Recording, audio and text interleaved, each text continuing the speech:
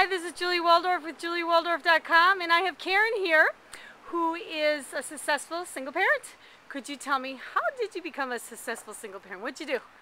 Well, a couple of things. Um, one is when they were 10, each one got a um, lesson in how to do their own wash. So we didn't have any emergency socks anymore. It was the first lesson in major, major responsibility. No more don't have any clothing, but um, both my boys um, knew that college was just part of education. It wasn't an added on, it was going to be part of. Um, I would go to the beach to read with my son after work. I would, uh, we'd hike and tell stories together. We would just do everything we could. Our vacations were camping. I didn't have any money. I was a poor single parent. Um, but we did things. I made sure that every single week both the boys had at least a couple of hours alone with me, but as a family and with other people, we did a lot of outdoor activities, indoor activities, and um, I think the biggest thing is that we just spent a lot of time communicating.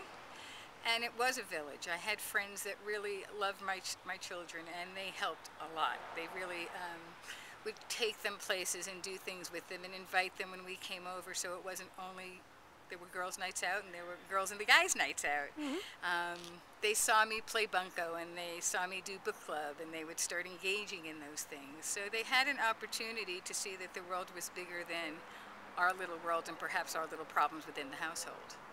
Okay so, so what do you what do you do for a living I'm a chiropractor and I did go back to school in my 30s, so they saw me going back to school um, to further what I wanted to do to reach my dream. I was a special education teacher before and I knew that if I continued doing that, none of us would be happy. Right. So they really saw me do the go back to school and um, shed some tears uh-huh. and uh, work through it together. So, and you were a great role model. Thank You're you. a great role model. So your kids are educated or in, in college now and they're Both successful my kids too. have graduated college. Uh-huh. Um, uh-huh. One went back and got an MFA. He's always been working since he graduated and before. Mm-hmm. My younger son graduated a year and a half ago, and even in this market, I'm proud to say that he is working. He had a job immediately after school. I gave him six weeks of help and said, That's it. By August 1st, you have to have a job. And by August 1st, he had a job, he was ready to go, and he was able to take five weeks off and go to Europe this summer on his savings from his first year working. So um, wonderful. they're doing it, and he's yeah. saving now. His plan for this year is he sat down with me to go over budgets because I'm good with that, mm-hmm. and um, he's now saving for his first year of his master's degree and applying to schools.